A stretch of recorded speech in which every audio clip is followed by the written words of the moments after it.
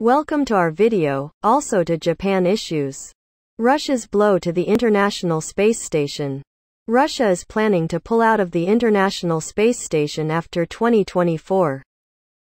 Potentially closing the book on the nation's close relationship with the US in space. We would like to share the Axios report, July 26, 2022. Russia is planning to pull out of the International Space Station after 2024, potentially closing the book on the nation's close relationship with the US in space. Why it matters. During times of high tension on Earth, like during Russia's annexation of Crimea in 2014 and today's ongoing war in Ukraine, space has often been one of the only open avenues of communication between the two nations. It's also not clear if the space station can remain operational without Russia after 2024. NASA is planning to send astronauts to private space stations after the end of the ISS. But those stations likely won't be available until the late 2020s. This could leave NASA's astronauts somewhat stranded. With nowhere to go in low Earth orbit as China gains its own foothold in orbit with its space station. Driving the news. The decision to leave the station after 2024 has been made, Yuri Borisov. The newly appointed head of Roscosmos, Russia's space agency, told Russian President Vladimir Putin, according to the Associated Press.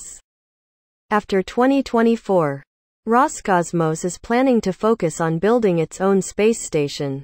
This plan is in line with other statements made by the previous head of Roscosmos. Despite the fact that other ISS partners, like NASA, have pushed to keep the program going until the end of the 2020s. They have been good partners as all of our partners are, Robin Gatens. NASA's director of the International Space Station, said during remarks at a conference today. And we want to continue together as a partnership to continue operating the space station through the decade. The news also comes after NASA and Russia announced seat swaps for the ISS where Russian cosmonauts will fly aboard SpaceX's Dragon capsules and NASA astronauts will fly aboard Russian Progress vehicles. Yes, but any ISS partner that wants to pull out of the program needs to provide one year's notice and formal notification. We haven't received any official word from the partner as to the news today, Gatens said of Russia. We'll be talking more about their plan going forward. Between the lines. Russia's plans to leave the station after 2024, if they come to fruition, could actually help solve a political challenge for the United States. Continuing on with Russia as a partner in space could be a politically difficult thing to sell on the ground because of Moscow's actions in Ukraine. If the Russians are pulling out, Maybe that's sort of a silver lining for the US. Brian Weeden of the Secure World Foundation tells the reporter. What to watch?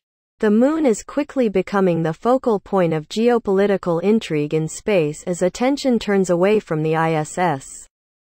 NASA is working with multiple ISS partners for its Artemis program to send people back to the lunar surface while also enlisting other nations to sign its Artemis Accords. Russia, on the other hand, has committed to partnering with China to build a research station on the moon, rejecting the Artemis program. That's all with the Axios report.